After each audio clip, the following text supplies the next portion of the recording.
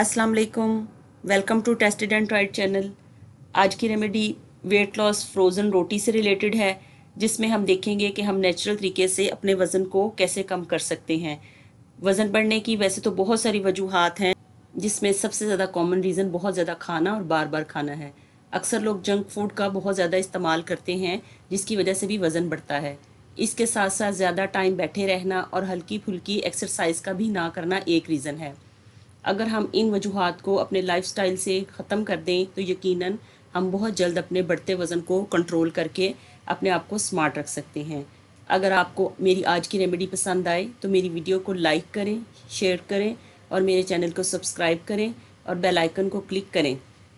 آج کی ریمیڈی میں ہم بیزل سیڈز یعنی تخملنگا کا استعمال کریں گے۔ تخملنگا میں fibre protein calcium magnesium, phosphorus اور اومیگا تھری فیٹی ایسڈس کے ساتھ ساتھ ملٹائی وائٹامنس بھی پائے جاتے ہیں۔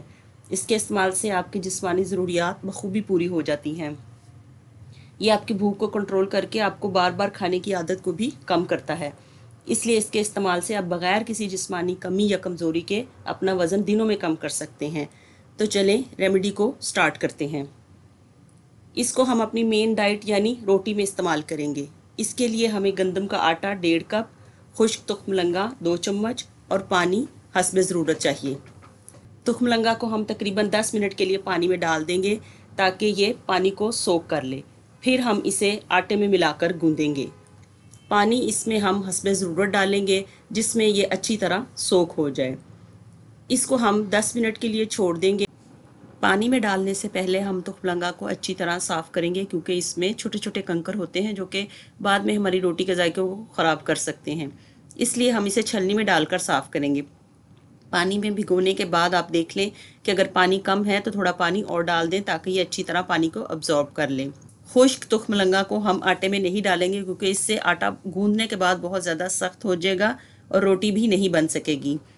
ایک باؤل میں ہم ڈیڑھ کپ آٹا ڈالیں گے۔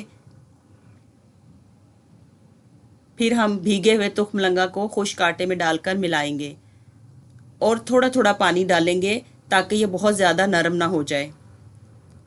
اب ہم اسے نارمل آٹے کی طرح گوند کر فریج میں رکھ دیں گے اور ایک گھنٹے کے لیے اس کو چھوڑ دیں گے۔ ایک گھنٹہ میں نے آٹا گوندنے کے بعد فریج میں رکھا اور اس کے بعد اب ہم اس کے پیڑے بنائیں گے۔ ڈیڑھ کپ آٹے سے میں نے چار پیڑے بنائے ہیں اور اب اس کی روٹیاں بیل کر ہم اس کو فریز کریں گے۔ اس مشینی دور میں ہر انسان بہت زیادہ مصروف ہے، اس لیے وہ وقت کی کمی کے بعد بہت زیادہ ہیلتھ ایشوز کو فیس کر رہا ہے، جس میں سے ایک وزن کا بڑھنا بھی ہے۔ اسی لیے آج ہم یہ ریمیڈی بنا رہے ہیں کہ آپ کس طرح اس روٹی کو بنا کر فریز کر سکتے ہیں۔